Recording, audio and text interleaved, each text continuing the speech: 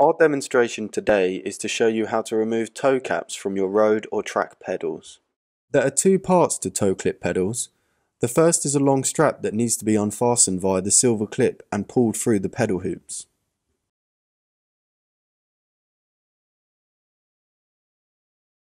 Flipping the pedals over you'll see two bolts that need to be removed with a 2mm hex key.